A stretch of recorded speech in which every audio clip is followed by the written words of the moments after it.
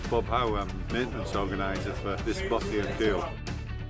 I've enjoyed all my life. I've been in, enjoyed in being in wild places like this. By maintaining the Bothy, you're giving other people the opportunity to do the same.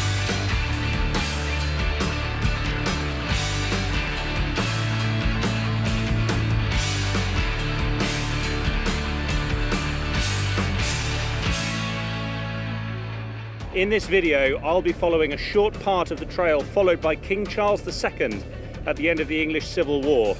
But just a short train journey away, you can find steep climbs, towering cliffs, and spectacular views.